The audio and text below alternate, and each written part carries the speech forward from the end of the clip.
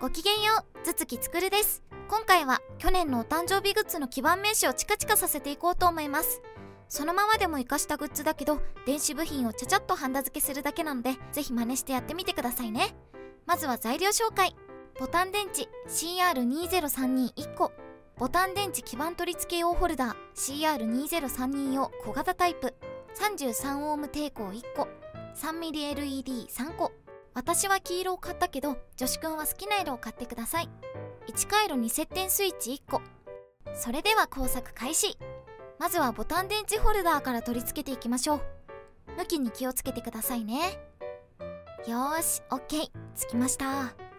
そしたら R1 に抵抗をハンダー抵抗は曲線なしなので自由な向きでつけて大丈夫です。足を先に切ってハンダハンダー。OK 次はスイッチ。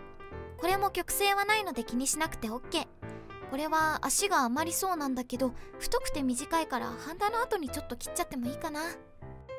そして最後は LED これは曲線があります。注意してくださいね。電池のプラス側の線からピューとつながっている方に足の長い方。つまりアノードを刺しましょう。まとめて3つ。ハンダしてやる。向きに気をつけて差し込んで長い足は切ってああ外れた。やばい。短くなったからこれどっちがアノードかわからん。うん。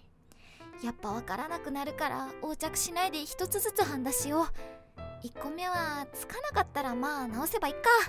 1個目2個目3個目っとできたそれではスイッチオン。ああれ？1個つかない。やっぱ LED 逆だったんだな。直します。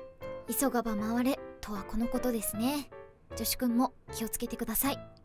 ハンダ吸い取る機でシュポッと吸い込んでこれが楽しいんだよな。さて付け直したので改めましてスイッチオン。やったー。ピーカピカ。チーカチカ。簡単な電子工作だけどやっぱり光るとかっこいいですね。グッズお待たせしてごめんなさい。製品版も試作できたのでそろそろ発送できそうです。ゲットした女子くんたちはぜひつくちゃん名刺光らせてやってください。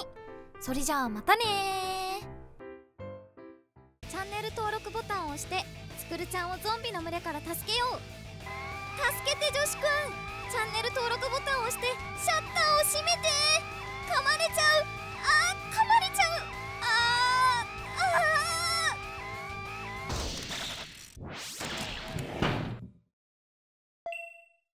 かった